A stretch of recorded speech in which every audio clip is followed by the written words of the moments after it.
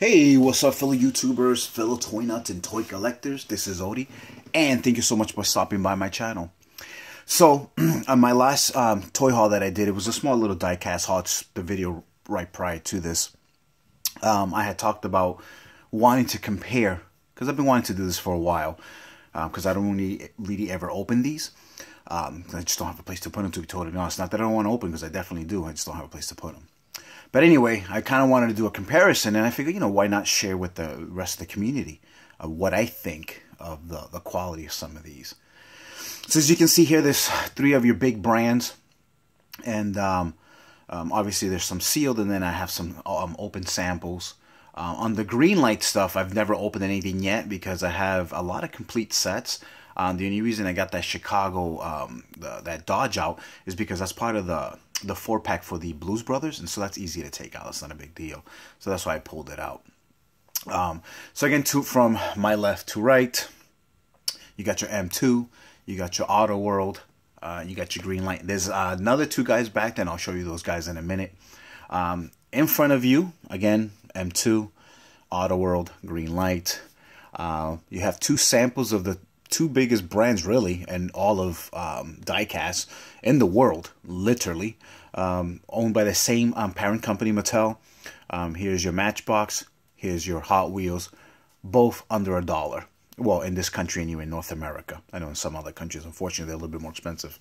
Um, in terms of quality, I mean, these guys um, originally, obviously, in the from the '60s all the way to late '80s, early '90s, they were all die-cast tops and bottoms. But you know, times change, and unfortunately, in order for these companies to keep progressing and keep it under a dollar, which is what Hot Wheels has always done for us, um, they had to change the bottoms and do a lot of plastic. Or sometimes, if it's a metal bottom, it's a plastic top. Uh, maybe if it changes color, something like that. Of course, those are a little bit more money, but anyway, you guys know the gist of it.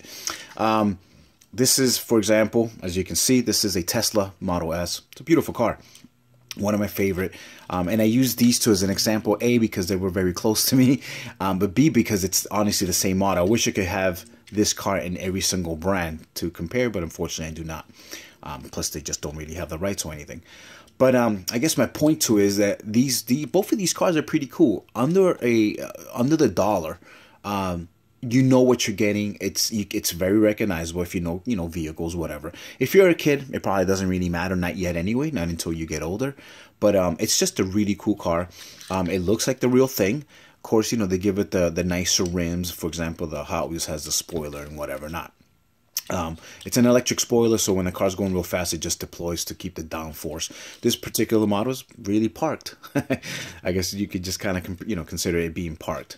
Um, but yeah, so th this is your Matchbox and Hot Wheels, and this is what these guys are trying to compete to get our money.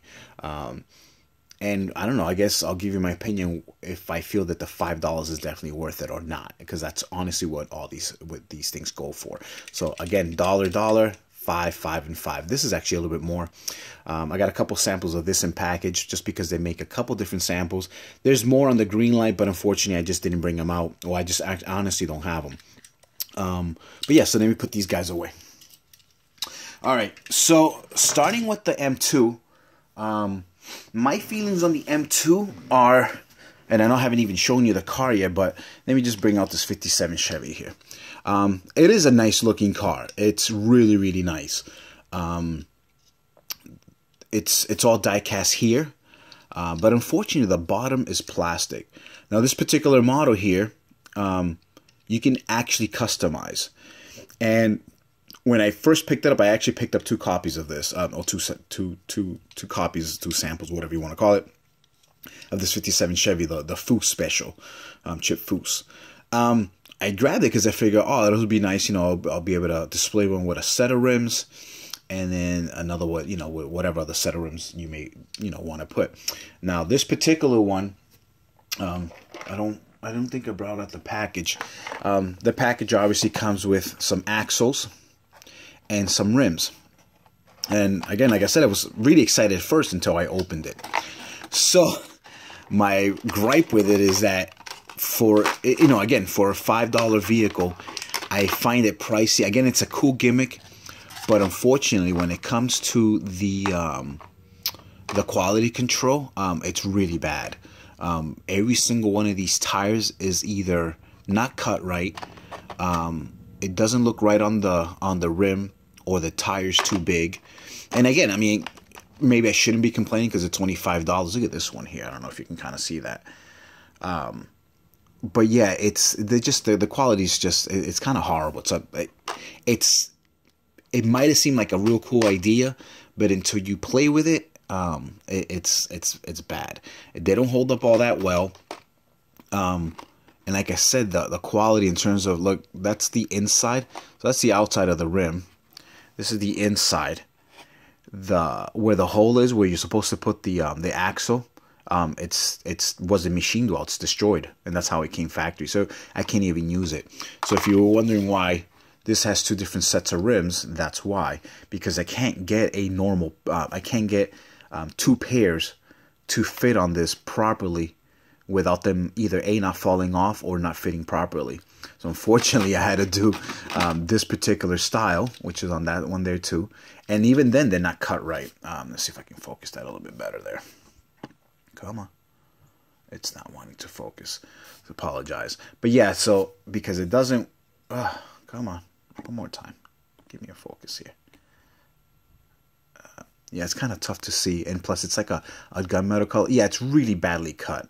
Really, really badly cut. Um, the, the back one's not too bad. Um, that one came out okay. But um, yeah, it's kind of oh man, I know it's like almost impossible to see because my camera for some reason doesn't want to focus. Maybe it's the lighting issue. Let's see. See if that kind of helps a little bit. See how bad that rim is? That is horrible. And I know you can't see in some of the other ones, but some of the rest are just like this. So I was a little disappointed the fact that again, this is kind of how they sold it. And again, and maybe it's just mine, um, but when I looked at my other 57 Chevy in package, um, it looked just like this too. I mean, this is probably one of the worst examples, and I did put it out on purpose just because I wanted to show you guys. Uh, the back is fine, but um, yeah, this this particular tire and rim is just really really horrible. Um, in terms of the quality of the car, I think it's it's it is nice. I mean, it's a pretty uh, you know it's a '57 Chevy. It looks really nice and whatever not. But um, that that gimmick of the whole tire thing, I think is crap, garbage, and definitely not worth the five dollars because it just wasn't fun to try to customize. So that's my kind of take on the M2. Now, other than that, obviously, you know, you're gonna buy what you're gonna uh, purchase because that's what you like, and that's fine. That's your money. Um, would I stop buying M2s? I would probably be a little bit more hesitant. I think um, if I ever buy another M2 but I mean, in terms of like particular brands that I love, like for example, my Fords or my Mercury or like Dodge and stuff like that, you know, in terms of muscle cars, I'll, I'll probably still get them. And obviously, as long as they go on display. Now, like I said, this is a sample of something that they make. Um, this is a, uh, the same sample. Oh, I did have one out. Sorry, this is what I should have shown you from the beginning. So this is the the one where you customize. So this is another sample of it. Again, in package it looks great, but until you start messing with it and you start noticing some of the rims are just not right, then it's kind of like ah. Um, even here you can tell this one here is pretty kind of bent and not every single one of these axles is even. So some of them are going to be a little bit wider than others, and that might be okay if it's going to the back and you just want it to look a little bit wider. That's fine too, but you know you're going to have to measure it yourself and stuff like that. Now the big thing that I that I've noticed that M2 prides himself is the fact that you know for the money they say they're giving you the most, um, and this is the example right here. So you know yes it's the, the five dollars you're gaining something that is not just uh, it's not four or five pieces like Hot Wheels. I guess basically that's what they're trying to say. I, I would assume that's their jab. They're jabbing on Hot Wheels that, you know, Hot Wheels, it takes two axles, four tires, and they're plastic at that, obviously. Um, you got the whole um, inside chassis. I mean, not the chassis, the inside crate where the seats would be. Yeah, you got the glass, and then you got the body, but you don't have opening doors, you don't have opening hoods or, or trunk or whatever. Um, so this is how they try to justify the fact that they're five dollars or over Hot Wheels. Where Hot Wheels, they you know maybe there's seven eight pieces to make that diecast. They're saying they have forty four. Some of them are more, some are a little bit less. But um, I guess you know, I mean, I like I said, to each their own. Yes, do I like opening hoods and trunks and, and doors? Yeah, it, it is cool. but not if it's gonna suffer in terms of you can't even roll that other car properly, um, bringing it back out. Um, it's just it's horrible. I mean, look, I'm pushing it, and the, the fronts are just held there. So that's an unfortunate thing.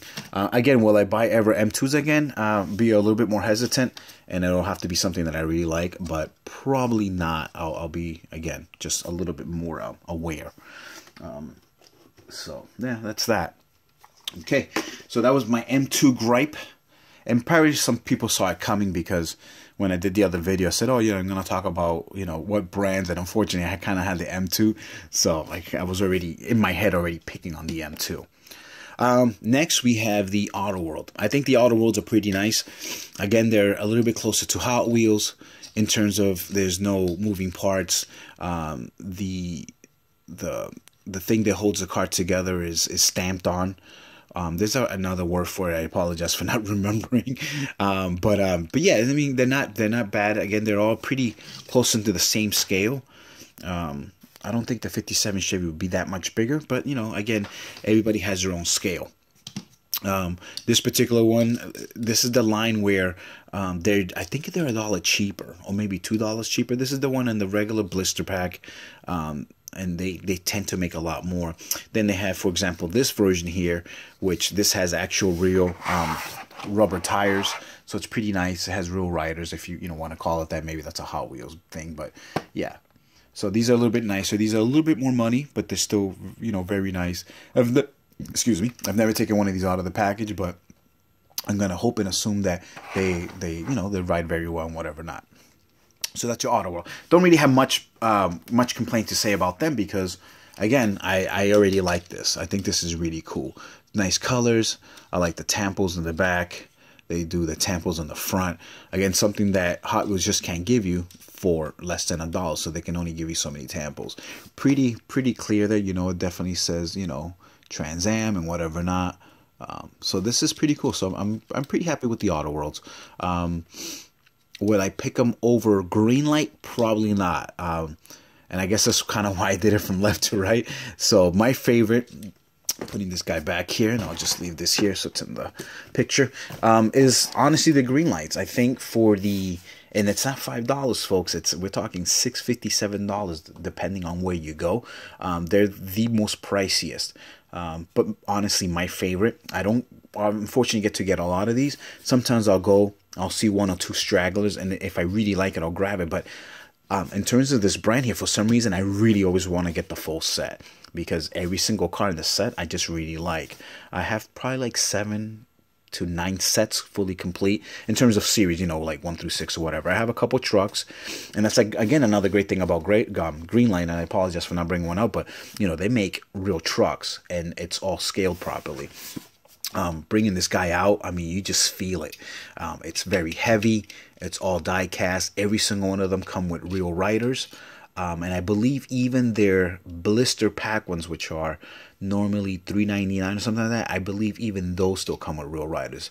The only thing that makes them cheaper is uh, I don't think they have the, not the licensing. I want to say because I could be totally wrong with this, but I don't think they um, they don't put a lot of color or effort into the kind of like the blister pack versions that are next to Hot Wheels and stuff like that.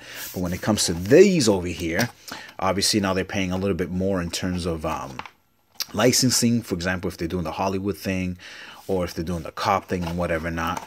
So that's probably why, they unfortunately, have to charge a little bit more. And from when the story goes, um, and I believe I heard this from, um, oh, grab, I want to give him credit. Um, crap, I really should have remembered his name, and I apologize. Uh, gentleman's from Canada. He has an unbelievable um, Hot Wheels collection. Spoken to him once or twice. Um, really cool guy. Um, Jesus. Oh, I'm so sorry. I forgot his name. It's horrible. I don't. I never write anything down, so it's not like I, you know, I, I script my my videos. But anyway, so this gentleman, um, I believe he's the one that said that the the reason Greenlight's so cool is because um, it's from the former employees of Johnny Lightning. Um, so you know, you just have that quality. Um, and so yeah, so I, I Greenlight is honestly probably my favorite. They even do the whole um, instead of white lightnings, they do the whole green thing because that's their name. So instead of white lightnings, they have the green. So I wonder how that's going to be now in the market, knowing that Johnny's back. And speaking of Johnny, move this guy to the side here. Yes, the Johnny Lightnings are back. And why didn't I include it in the in these three? Because uh, it's honestly uh, it's it's a no brainer. Um, it's just automatically gonna be quality. Um, I don't know why Playing Mantis, Mantis had to stop making them when they did, and unfortunately, again, those guys left, and they had to create, or some of them left, and they created Greenlight. But it's nice that they're back. Um, taking the Greenlight and the Johnny Lightning, you would think it's. I mean, they're like perfect. I mean, the scale is just on point. Um, they they go great with each other. It is awesome. So now you have two competing companies. Um, but you can kind of keep them all together and nobody would be the wiser. Yes, if you're a hardcore collector, you're going to know that one's Johnny Lightning, Johnny Lightning, I should say, and one's Greenlight. But the fact that it's, you know, probably some of the same sculptor, sculptors from before, some of some designers, artists, and whatever, um, you know, you're going to get two awesome quality brands. So this is really, really cool. So I'm, I'm kind of glad this is kind of happening now. So it's the kind of like the new renaissance of diecast collecting. Look at that. Um, the license plate is tampered. Same thing there. They didn't do it on the front with this one. Oh, it's actually right there. Yep. It's just amazing. Amazing. That is so cool. Yep.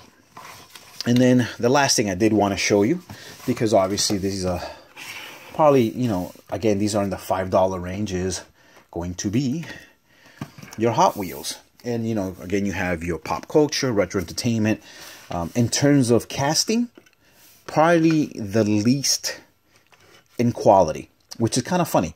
Um, I want to say that Hot Wheels are probably the most fun to collect personally, um, and there's so much more of them out there that it's that's it's it's tough not to like them. But in terms of the the scale, um, or the, the the drawing or the engineering, whatever, sometimes they're not really um, on point in terms of the the actual original. But I think again, there's still so much fun. Their tires and rims are by far the best of any of these other brands here. Um, even if it's real riders, they still roll really well. So if you're looking for a toy to play with, even if it's a five dollar toy, Hot Wheels is honestly the way to go. And again, that's why all these other brands are competing to get our money, so we don't buy these and we just buy theirs. You know, I think, and honestly, you know, um, this is one in package. This is the Rolling Thunder. Again, not very accurate considering that it's a big truck and the Ecto is a 1959 Cadillac or whatever. You still think the truck is bigger. I mean, yes, it's bigger because it's taller, but it's not bigger because it's longer and whatever. Not. So again, I just thought I would share. This was a lot of fun to do for you guys because, um, again, there's just so many brands out there. Um, again, Johnny Lightning, um, Greenlight, On Point. Um, probably second favorite brands after the Hot Wheels and Matchbox because again, for a dollar, you just can't. Johnny and Greenlight will never ever compete. Are you getting that quality of the design of the original? Probably not, but still, they'll just they'll never be up there. Um, so there you go. And then Auto World, I, Auto World's you know I've kind of grown to like it. Um, I, I think they look really nice and um, you know the M2 is it is what it is. In particular, this one here. Again, I'm, I'm a fan of the Cougar. I think it's an awesome car. This is only eight fifty nine dollars. So it's kind of a no-brainer, seeing as if you buy them by themselves, it's like five or six bucks, or you know, depending where you go. So this was still cool. Again, you know, they're giving you this, you know, this auto lift and all that, so that's kind of cool. You can always put it on display, so it's fun. But again, the quality, the fact that you don't get 100% die-cast top and bottom, I feel that's a little expensive. Same thing with the auto, but I just think the Auto Worlds just look a little bit nicer than the M2s. So unfortunately, the M2s are my least favorite. Still cool to purchase. Um, you know, there's always going to be those models you might want to get, but um, still my least favorite, unfortunately. But guys, thank you so much for viewing um, this video. I just again wanted to give you my two cents on this. Sorry I made it so long, but when you start rambling and and you you kind of thinking about you know what it is that you like and don't like, it just kind of it becomes long. But as always, guys, thank you so much for viewing. Please rate, um, comment, subscribe. Um, let me know what you guys think, and I will see you guys later. Peace. Later.